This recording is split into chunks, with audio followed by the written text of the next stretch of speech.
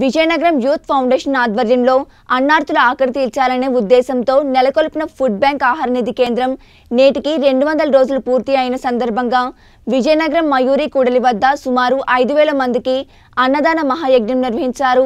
Covid వల్ల ఎన్నో కుటుంబాలు చిరిగిపోయాయని ఒక పూట అన్నం కోసం అలమటించే బాధ్యులైన వారు ఎందరో ఉన్నారని ఆకలితో ఉన్నవారికి ఆహారం పెట్టే చోట దేవుడు ఉంటాడని యూత్ ఫౌండేషన్ వారు విశ్వాసం వ్యక్తం చేశారు. కోవిడ్ విపత్తులో కరోనా మృతులకు అంతిమ సంస్కారాలతో పాటు ఆర్థిక వ్యయ ప్రయాసలకు ఓర్చి ఐదు అంబులెన్స్లతో ఉచిత సేవలు నడిపి సేవలు అందించారు. ఈ సందర్భంగా విజయనగరం యూత్ ఫౌండేషన్ అధ్యక్ష కార్యదర్శులు Sheikh Iltamash ambulance Shiva convener Anil Kumar co convener Ashok Sai మాట్లాడుతూ విజయనగరంలో తొలి ఫుడ్ బ్యాంక్ పెట్టి నేటికి సుమారు రెండు వందల రోజులు పూర్తి అయింది నిత్యం రోడ్ల మీద ఎందరో అభాగ్యులు ఒక పూట అన్నం కోసం అందించే చేతుల కోసం ఆత్రంగా ఎదురుచూస్తూ ఉంటారని అలాంటి వారి కోసం మా ఫుడ్ బ్యాంక్ నిత్యం తెరిచి ఉంటుందని యూత్ ఫౌండేషన్ వారు పేర్కొన్నారు.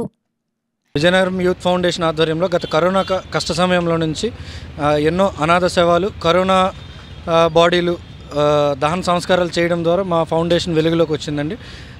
మా ఫౌండేషన్ యొక్క ముఖ్య అంశం ఏంటంటే ఉందంటే అది food bank. Vizianagaram youth food bank పెట్టి నేటికి సుమారు రెండు వందల రోజులు పూర్తయిన సందర్భంగా స్థానిక మయూరి కోడలి వద్ద ఉన్న మా ఫుడ్ బ్యాంక్ వద్ద ఈరోజు ఐదు వేల మంది అన్నార్థులకు ఆహారం అందించడం జరిగింది.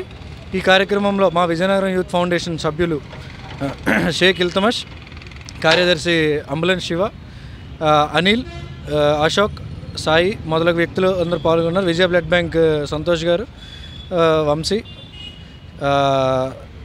చంద్రిక కళ్యాణ్ తదితరులు పాల్గొన్నారు. ఈ కార్యక్రమం యొక్క ముఖ్య ఉద్దేశం ఏంటంటే ఎన్నో ఎంతోమంది రోజు గడపడం చాలా కష్టం అవుతుంది ఆహారం లేక. వారిని వారిని ఒక ఒక ముఖ్య విధిగా నేను తీసుకొని వాళ్ళకి ఆహారం అనేది ఇవ్వడం జరుగుతుంది. ప్రతిరోజు ఇలాగా చేయడం జరిగింది.